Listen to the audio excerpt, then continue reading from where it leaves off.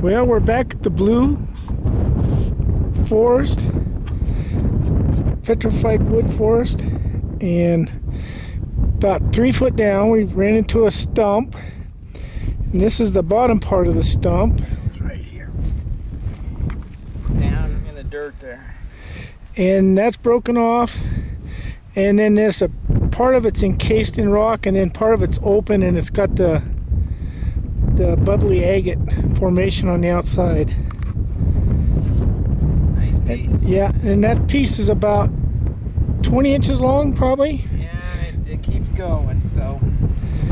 And it's broke right there. And it goes back underneath, and we're going to take this piece out right there.